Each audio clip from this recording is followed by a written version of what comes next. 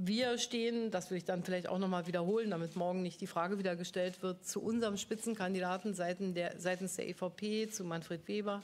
Andere stehen äh, zu ähm, ihren Spitzenkandidaten. Das ist auch mehr, ähm, das ist auch vollkommen klar. Sind, sagen wir mal so.